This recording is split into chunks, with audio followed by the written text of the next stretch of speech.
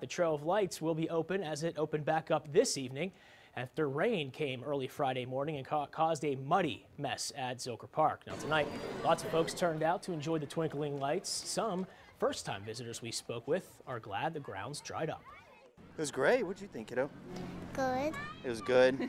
I'd say it was great. Yeah. Yeah, it was great. Had a lot of fun. What was your favorite part about the Trail of Lights? But I like the big tree.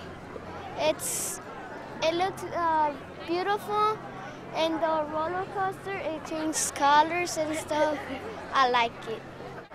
And if you had a pass for last night, you can still get it exchanged for one tomorrow, as KXAN is a proud sponsor of the Trail of Lights, and it ends tomorrow night.